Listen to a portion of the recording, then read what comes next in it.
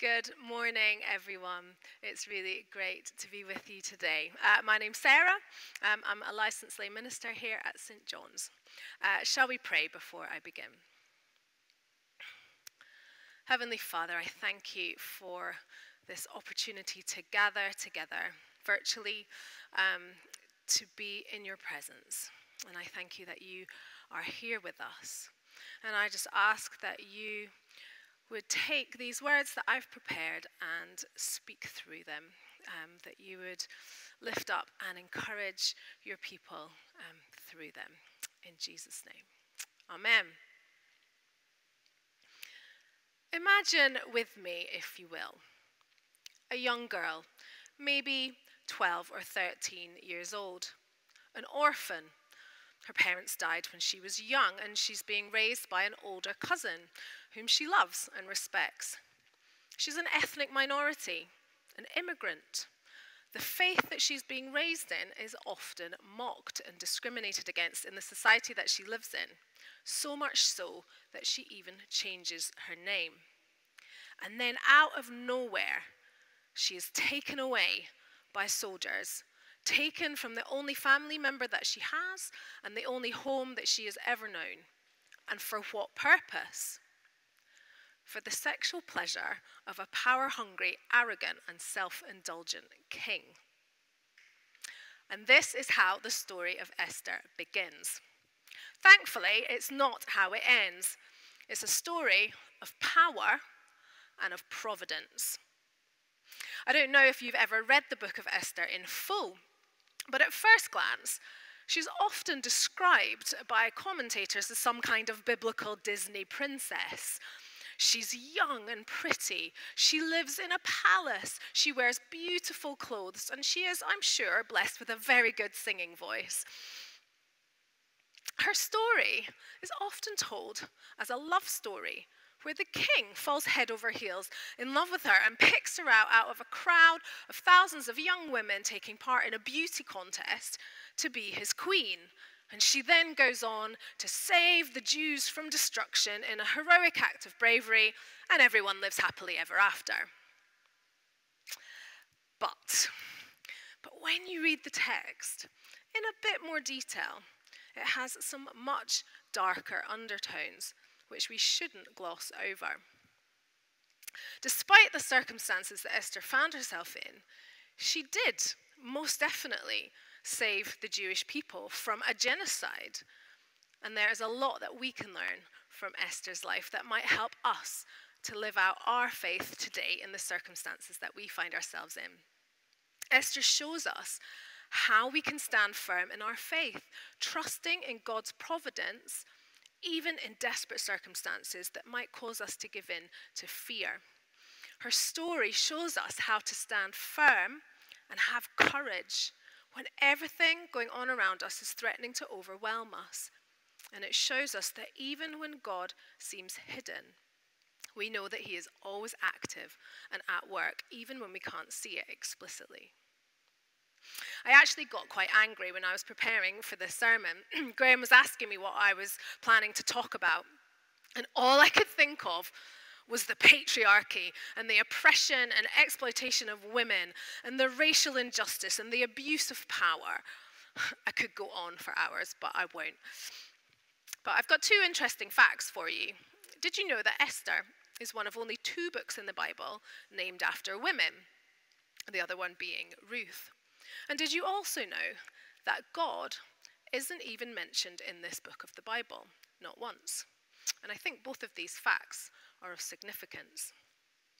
The rabbi and author Rachel Barenblat describes Esther like this I see her as an ordinary person who, under extraordinary circumstances, rises to the occasion of living out her best self. And when she does that, she becomes God's hands and voice in the world. I don't know about you, but one of my desires is certainly to be God's hands and voice in the world today.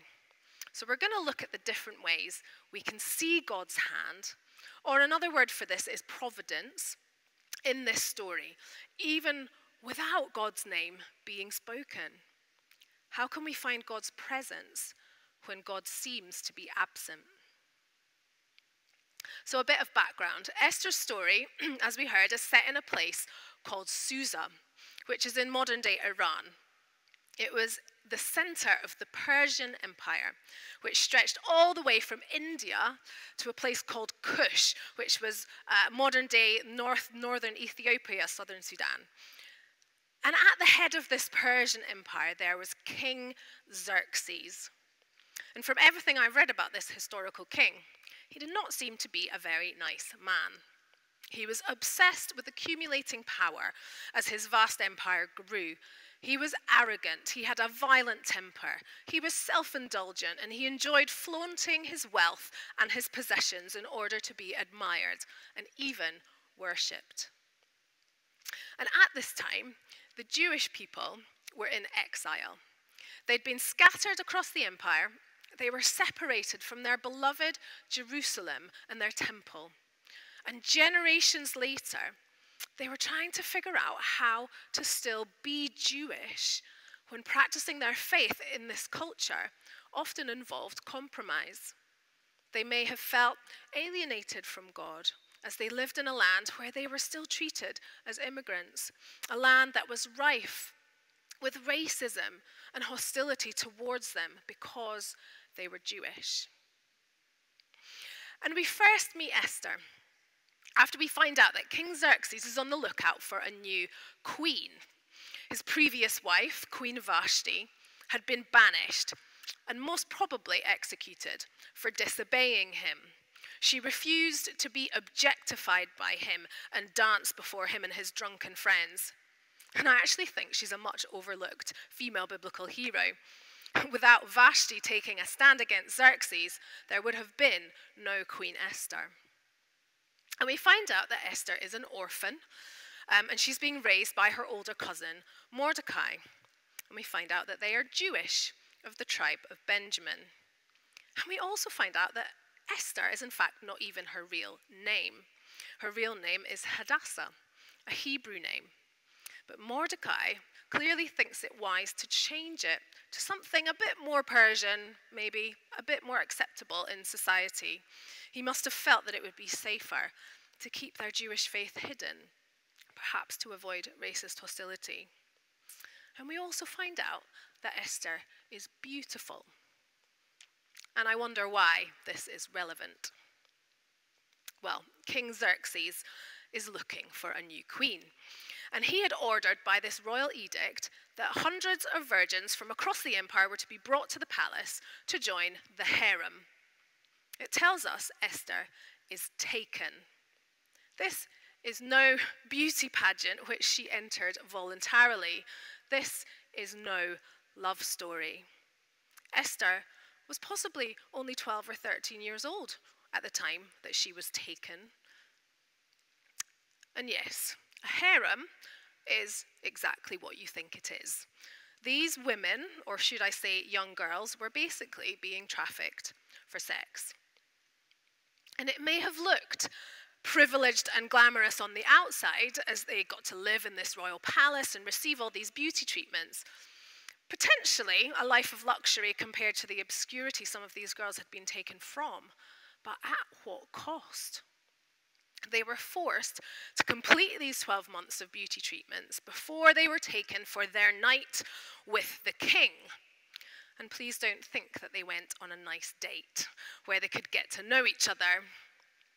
These young girls had one night with the king, and how they performed in bed, and whether or not the king was attracted to them, whether they pleased them, or whether he was pleasured by them, would determine their future.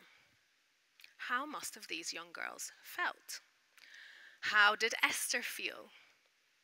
Well, we don't know, because it's not mentioned at all. Because how women felt in the Persian Empire didn't matter. Women at this time were the property of men. They had no rights, they had no choices. They would generally go from being the property of their father to being the property of their husband, who would most likely have been chosen for them at a young age. Unless, of course, the king was on the prowl for a new queen. The Jewish biblical scholar Michael Fox writes What is significant and most oppressive is that their will, whatever it might have been, is of no interest to anyone in the story. They are handed from home to harem to the king's bed. Their bodies belong to others, so much so that they are not even pictured as being forced. And it's into this situation, into these circumstances, that Esther becomes queen. This is no Disney fairy tale. And yet, by the end of the story, she becomes the hero. She becomes the one with a book of the Bible named after her, a woman um, who the Jewish festival of Purim uh, celebrates. Um, it celebrates her act of bravery in saving the Jewish people from destruction. How did she do it? How could someone living in such desperate circumstances still be God's hands and voice in the world? And just in case you don't know the rest of the story, here's a brief summary of what happens next in the words of Jewish Christian academic Lauren Winner. So there's this guy in the king's cabinet named Haman and he's very puffed up and full of himself. He gets the king to issue an edict that everyone must bow down before him, Haman, whenever he passes in the streets. One day he walks by Esther's cousin Mordecai, and Mordecai refuses to bow down before him because it would be a flagrant act of idolatry. He's Jewish. Haman is ticked off and embarrassed. In fact, Haman has never really liked the Jews and he's sort of looking for an excuse to get rid of them. Mordecai's refusal to bow down before him is as good an excuse as any. So Haman goes to the king and says, There's this group of people living among us who don't obey your rules. Their ways, they're not our ways. It's going to be a bit of a problem for our empire. So give me the authority and I'll have them taken care of. I'll have them all killed.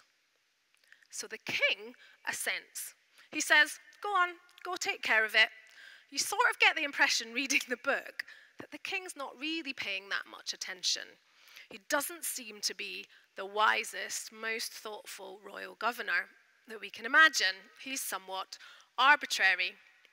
Anyway, through her cousin Mordecai, Esther gets wind of Haman's plan to destroy the Jews.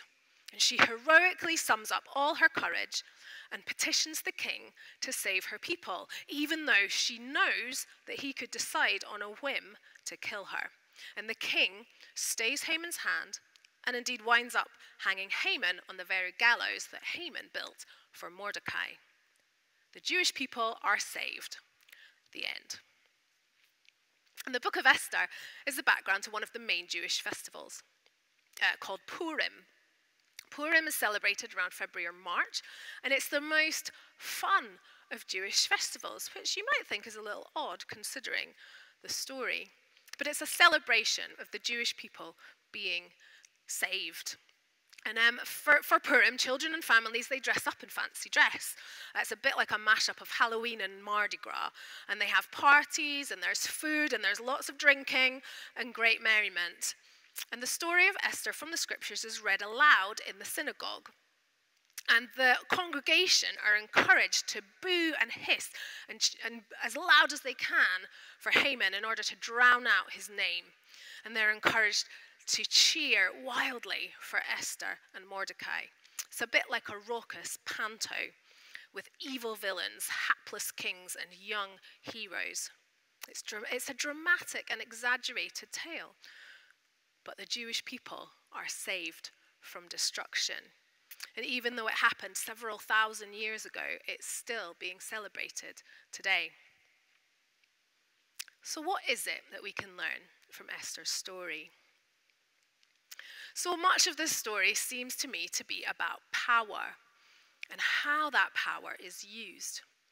As a community organizer, I love talking about power because we know that if you have the right kind of power, you have the ability to act and bring about positive change for your community. But we also know that power can be abused, corrupted, and used to dominate. And we see Esther begin with no power She was powerless. She's both a woman and she's a Jew from an immigrant family, and yet somehow she ends up as the queen with the power to stop her people from being annihilated when she steps out in faith. How? I think it's because this story is also about providence, about God's hand working behind the scenes to bring about his purposes. in the dictionary, providence is described as being God or a force that some people believe controls our lives and the things that happen to us, usually in a way that protects us. It's also uh, described as the belief that all things are ordered and regulated by God towards his purpose. And yet, God is never mentioned in this story, not once. And yet, we see his providence in every detail. So, how do we stand firm in our faith and trust in God's providence when everything around us tells us that God has abandoned us? We can't see God working, we just feel desperate and overwhelmed by our circumstances.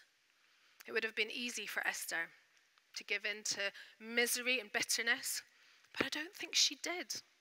Because somehow the passage that we heard tells us that she found favor with everyone. She found favor with Hegai, the eunuch who was in charge of the harem. And then she found favor, it says, with everyone who saw her. And eventually she found favor with the king more than once. And I wonder how she did this.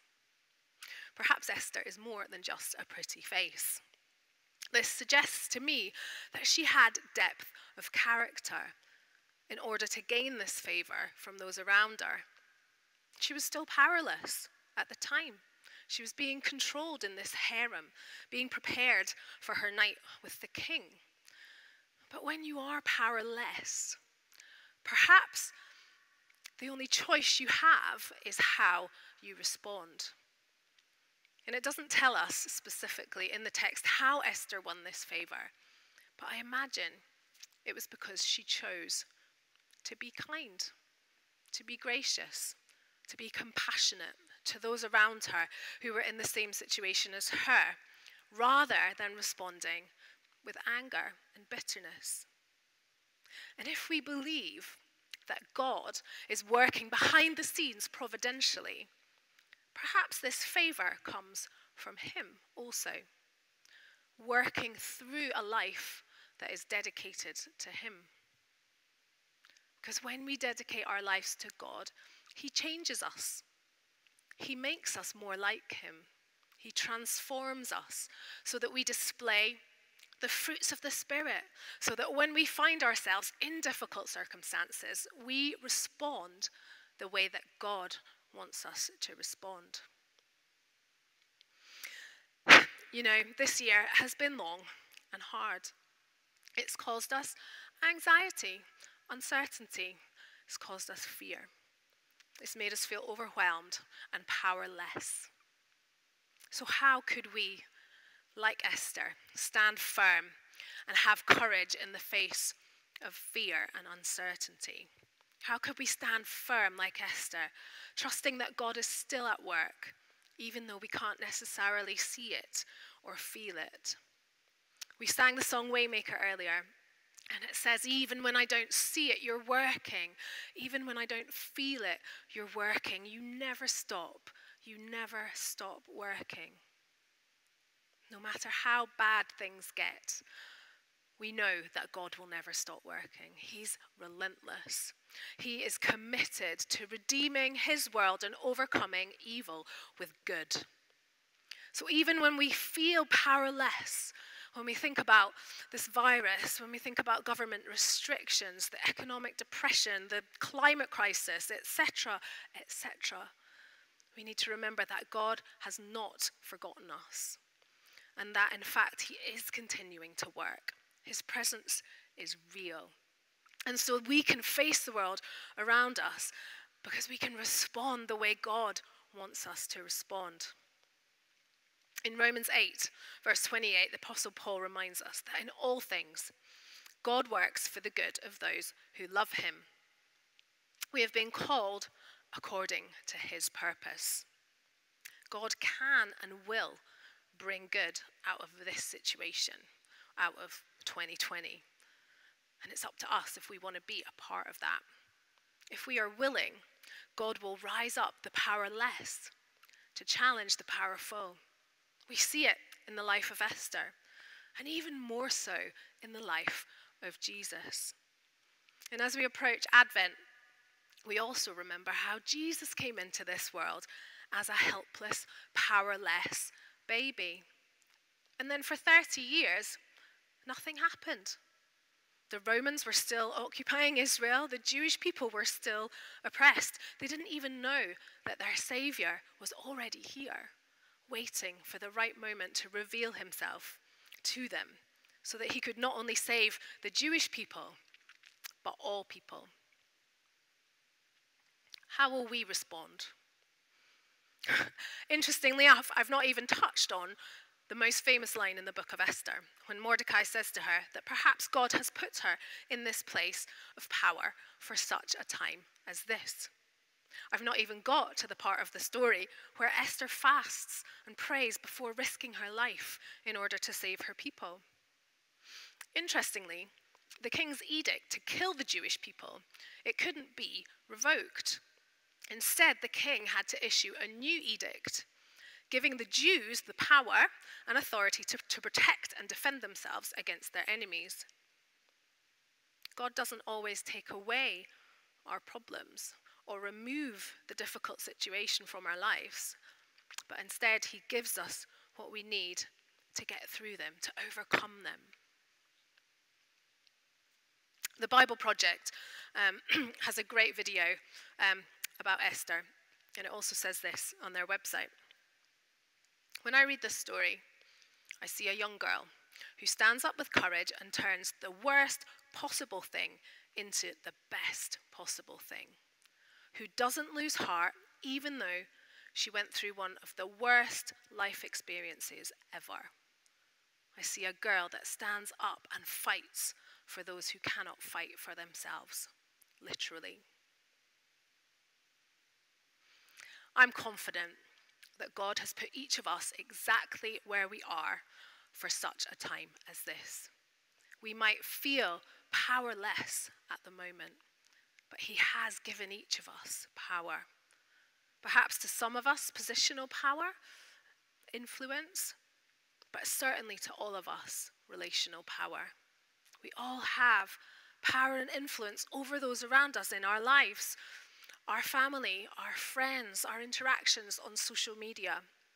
How we respond as God's people to this crisis, to these difficult circumstances, will have an impact on others. Can we be like Esther and respond with kindness, with grace, and compassion in everything we do and say. It's tough. And I'm not saying that we won't have difficult days. And we will get it wrong sometimes. I know I do. But if we really believe that God's providence is at work, behind the scenes, bringing about good from even the worst of circumstances, then what do we have to fear? Together, let's choose to be God's hands and voice in this world. Shall we pray? If you'd like to stand where you are, you can do that. You might want to open your hands as a gesture um, to receive from the Holy Spirit. Father God, I thank you for the power and influence that you've given each of us. And I also thank you for your providence that you have promised to work for good in every situation that we face. Lord, help us to trust you, no matter what the world around us throws at us. Help us to respond graciously and lovingly to those we interact with day to day, especially when we feel overwhelmed and anxious and powerless. Lord, we ask you for your forgiveness when we failed in this or gotten it wrong or responded in anger or bitterness. Show us, Lord, when we need to use our power for the sake of those who have none, and when we need to speak out in order to bring about justice. Would you help us stand firm in our faith and have courage, just like Esther did? We thank you that you love each one of us. Holy Spirit, come and use us for your glory in this world. In Jesus' name, amen.